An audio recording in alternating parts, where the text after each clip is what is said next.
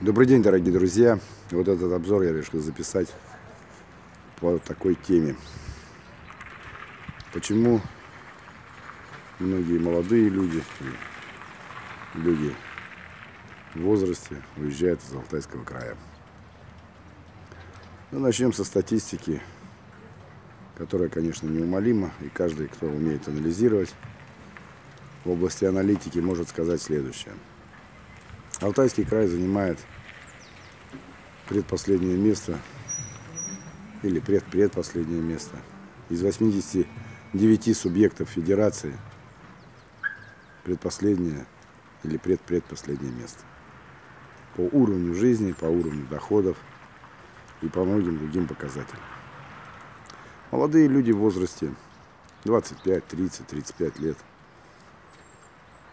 Не все имеют, конечно, квартиры собственности. Их снимают. Ну а заработная плата в Алтайском крае, скажем так, мягко невысокая. И уезжают в другие регионы. Особенно это касается Москвы, Питера, Краснодарского края. И даже некоторые уезжают на север. Объясняется это тем, что там выше заработная плата. А в среднем, если взять, то и аренда квартир плюс-минус чуть больше может быть. Но плюс-минус такая же, как и здесь. Но так как разница между 25-30 тысяч и где-то в регионах Крайнего Севера 80-90 тысяч, или в той же Москве, Питере и еще многие уезжают в такую Белгородскую область, которая занимает третье место в России по уровню накопления капитала, по уровню доходов, по уровню жизни, по экологическим вопросам. Уезжают в эти регионы. Причем экономически активное население от 25 до 40 лет, самое экономически активное население – подвержены этим переездам.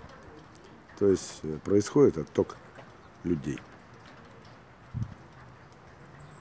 Ну, давайте возьмем с того, что если человек снимает квартиру или берет ее в ипотеку, молодой человек, то ему надо ее выплачивать. Ну, так как, конечно, молодому человеку надо жить хорошо, этому человеку приходится искать вторую работу.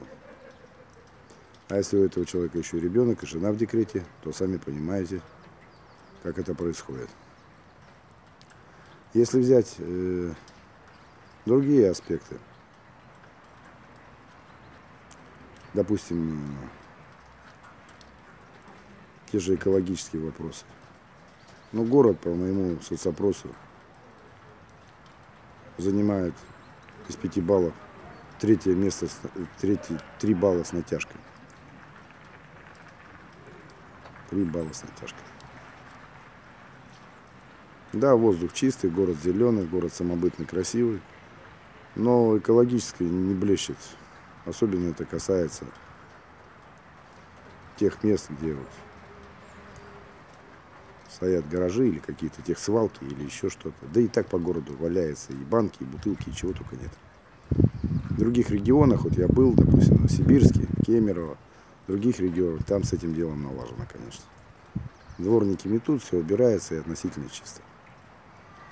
А если у этого человека есть автомобиль, в Алтайском крае, конечно, дороги сделали, они намного лучше, чем были раньше.